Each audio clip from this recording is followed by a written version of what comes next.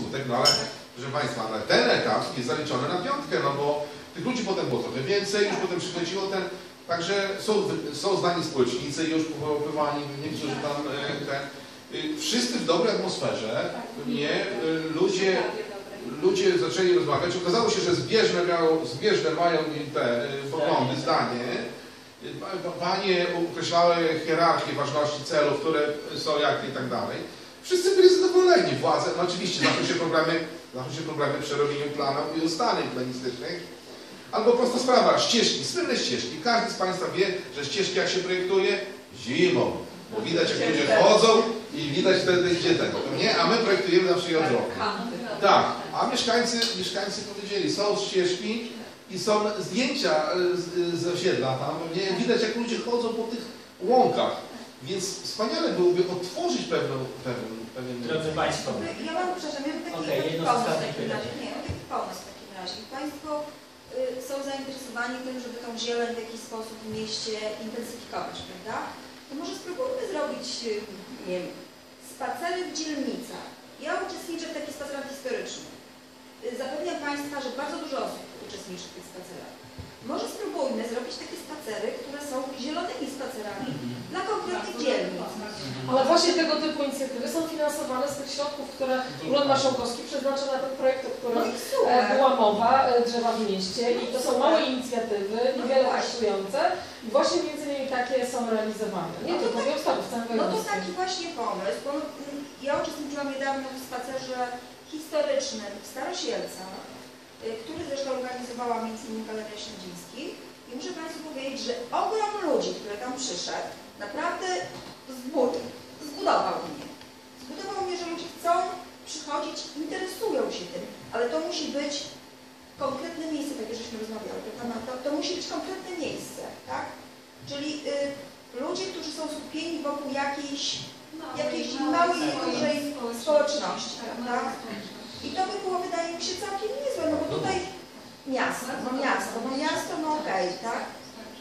Ale to też była niedziela, z tego co pamiętam, bo nagranie Ale nie można, można na zobaczyć na moim portalu i białystok.pl i to była niedziela, To dlatego dużo ludzi niedziela, przyszło. To jest ta różnica dzisiaj na przykład. niedzielę. Ale to może być robione w niedzielę, w sobotę, to przecież nie ma żadnego problemu. Bo nam się wydaje, że my tak wszystko znamy. Tak. I że wiemy, wiemy. Ja się ostatnio po osiedlu, też trochę z racji zawodowych, po osiedlu przydworcowym przeszłam. Bo mi się ciągle wydawało, że tam nic nie ma.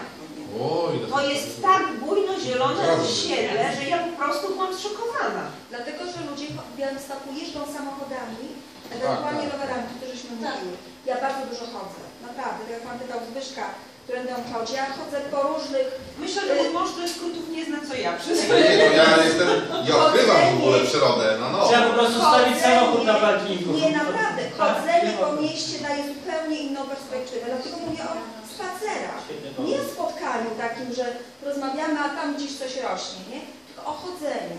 Bardzo mądrze i bardzo fajna inicjatywa. Grażyna, powiem Ci z ostatniego spaceru, ja można powiedzieć jestem z Państwa chyba takim najgorzej, tym świętym Pawłem, który był przecież niewierny, a, a przeszedł, bo jestem no, zwykłym architektem. Nie no, czy zwykłym to może nie, ale, ale generalnie jestem architektem, czyli ten, który burzy drzewa, niszczy, za- utwardza i tak dalej. I ja, może być, może z wiekiem, staję się coraz bardziej zwolennikiem jednak tej przyrody, już to widzę po kolegach też, że jednak całość polega na tym, żeby zaprojektować przyrodą fajną architekturę, to wtedy to robi wrażenie. No i dlatego, Panie ale dokończę, dokończę. Chciałem powiedzieć, że na następną debatę Tak. pan założy zielony sweter. Szedłem, szedłem, no to tak jeszcze raz, tak? Ten, Mogę pożyczyć. Chcę powiedzieć jedną rzecz odnośnie tego, bo zapomnę. Y, Kiedy szliśmy na Lisiej Górze, była Pani wtedy chyba na tym pierwszym spotkaniu i było bardzo gorąco. Myśmy szli po pustkowiu i na tym pustkowiu, na łące wypalonej, y, bo tam piasek jest taki w ogóle tego, stało drzewo. I klasne stało drzewo, pewnie, ale rozłożyste, duże takie, miał duże konary, odcinki. Tak, tak. I, i, myśmy, I myśmy weszli pod te drzewo. I ja oczywiście, wiele ludzi to rozumie, tych drzewiarzy, przyrodników i tak dalej, a dla takiego człowieka jak ja, nagle wszedłem i poczułem różnicę temperatur potworną. I tak, i, i wiatr, który przewiewał e, e, nas, e, nagle chłodził. Na zewnątrz on był ciepły, kiedy weszli pod drzewo, nagle on się stał chłodniejszy i tak dalej. I ja to sobie uświadomiłem, to jest bardzo ważne przeżycie bo, przeżycie, bo ono mnie ustawia na dalsze projektowanie. Czyli po prostu drzewo, i to się dzieje z naszym klonem też, że naszym domem, że po prostu takie spotkania i takie doświadczenia w trakcie, ale właśnie wskazanie zawodowców, ile dzisiaj dowiedziałem się od drzewa, proszę Pani. Ja kolegów za- za- zawstydzę, jak co ja wiem na temat. Może zrobimy szkolenie Tak, dla tak. urbanistów, Tak, tak, tak, kolegów, tak, oczywiście. tak. Także, także powiem szczerze, że masz rację. Rację. To ja jeszcze dorzucę, a propos zieleni, jest takie badanie przeprowadzone. W pewnym szpitalu w Polsce zauważono, że po jednej stronie korytarza ludzie zrobili szybciej po tych samych zabiegach, po drugiej stronie wolniej. E, Zaczęto robić badania i się okazało, że e, trzy czwarte e, e, czasu szybciej zdrowieją ludzie, którzy mają widok przez okna na zieleń. Tak.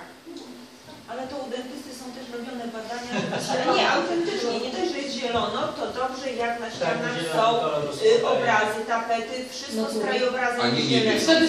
Biały. Nie, człowiek y, mnie, stres, od razu się rozróżnia. E, Kolor zielony w Japonii, która e, ogrody mają do perfekcji wypracowane, kolor zielony jest uznawany za najszlachetniejszy, najlepszy kolor. E, Ile my mamy w zieleń, w ilu, ile nas mamy, możemy nazwać zielonych u nas w Polsce? Kilkanaście, co? Miętowy jakiś, e, tam nie wiem, jasny zielony, ciemny, no kilkanaście No nas tak. W Japonii na określanie zieleni jest kilkadziesiąt nazw. Dlatego ja nie mogę od Pani Dyrektor munduru oczu oderwać. Drodzy Państwo, e, na- znalazłem takie dane. Organizacja Narodów Zjednoczonych szacuje, że do 2025 roku ponad 60 mieszkańców populacji świata będzie mieszkała w w aglomeracjach miejskich. Więc albo zrobimy coś z zielenią w naszych miastach, albo mówiąc dosłownie, prosto z mostu nie przeżyjemy tego wszystkiego, co się będzie działo. Drodzy Państwo, serdecznie dziękuję za debatę. Skończ, skończmy taką oficjalną część spotkania. E, W panelu dyskusyjnym wzięło udział Pani Joanna Kurzawa, Pani Agnieszka Kobolewska, Pani Monika Pietkie, Zbigniew Baum i Eliza Szetkowska. Bardzo Państwu dziękujemy, a wydarzenie odbywało się w ramach projektu Białostocka Akademia Pozarządowa, sfinansowanego przez Narodowy Instytut Wolności, Centrum Społeczeństwa Obywatelskiego ze środków FIO na lata 2014-2020. Dziękuję Państwu bardzo serdecznie serdecznie Państwa teraz na kawę. i na dalszą część spotkania.